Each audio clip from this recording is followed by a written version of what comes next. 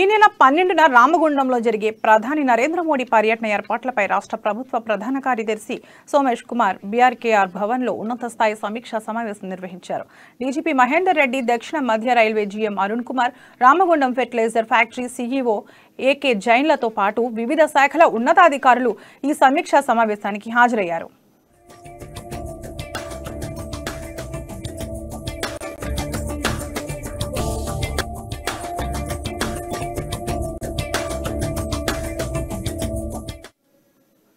ఈ సందర్భంగా ప్రధాని పర్యటన ఏర్పాట్లను అత్యంత పగడ్బందీగా చేసేందుకు వివిధ శాఖల అధికారులు సమన్వయంతో పనిచేయాలని సీఎస్ సోమేష్ కుమార్ పేర్కొన్నారు. వేదికల వద్ద తగిన బందోబస్తు శాంతి భద్రతలు బందోబస్తు తదితర ఏర్పాట్లను బ్లూ బుక్ ప్రకారం చేయాలని సీఎస్ చెప్పారు.